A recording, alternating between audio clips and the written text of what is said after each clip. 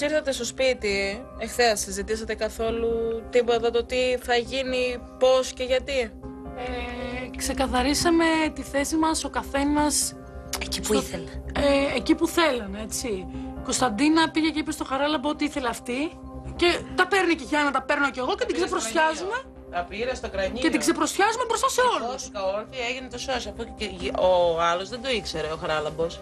Και έμεινε πατατάκι. Και κάθεται μου κάνει. Ε, η Κωνσταντίνα φαινόταν ότι όλοι οι άλλοι είναι οι κακοί και η Κωνσταντίνα είναι το θύμα.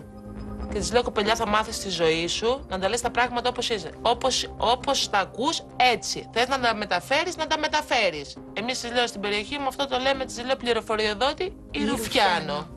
Τι λες, Και κάνω το Χαράλαμπος Καλά, πάνω. ρε θηρίων. Είδα, είδα που λαλείς τώρα. Δεν είπα κάτι. Λοιπόν, και μου λέει, δεν θα μου πεις, μου λέει εσύ πώς θα τα λέω, όπως θέλω θα τα λέω. Της τραβάς μία ανάποδη, δεν την τραβάς.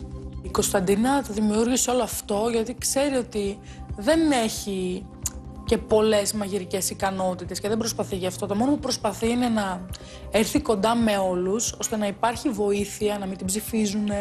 Το έπαιξε τέρμα στρατηγικά και για μένα καλά έκανε. Όποιος το τσίμπησε το δόλμο που έριξε η Κωνσταντίνα, για μένα αυτό φταίει, δεν φταίει η Κωνσταντίνα.